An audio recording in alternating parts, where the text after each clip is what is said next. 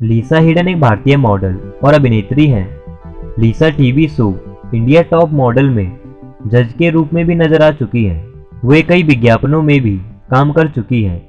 लीसा ने अपने बॉलीवुड करियर की शुरुआत फ़िल्म आयशा से की थी, जिसमें वह सोनम कपूर के साथ नज़र आई थी।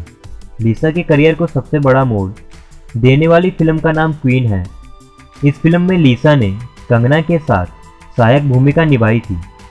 लीसा हेडन का जन्म 17 जून 1986 को चेन्नई में हुआ था। उनके पिता वेंकट मलयाली हैं तो उनकी माँ अन्ना हेडन ऑस्ट्रेलिया मूल की है। उनकी एक बहन भी है, जिसका नाम मल्लिका हेडन है। लीसा हेडन ने साल 2016 में लालवानी से शादी कर ली। लीसा के दो बेटे भी हैं।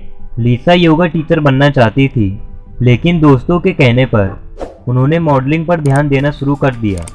लीसा ने जीवन के शुरुआती साल विदेशों में ही बिताए।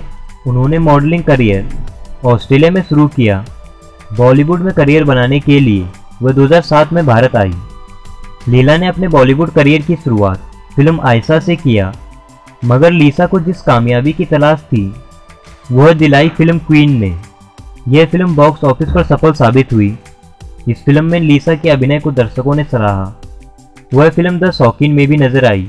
इस फ़िल्म में अक्षय कुमार, अनुपम खेर, अनु कपूर और पीयूष मिश्रा जैसे कलाकार मुख्य भूमिका में थे। उन्होंने करण जौहर की फ़िल्म ए दिल है मुश्किल और मिलन लूथरा की फ़िल्म बादशाहों में भी नज़र आ चुकी है। उनकी प्रमुख फ़िल्में हैं आयशा रास्कल्स ट्वीन, हाउसफुल थ्री और द शौकीन।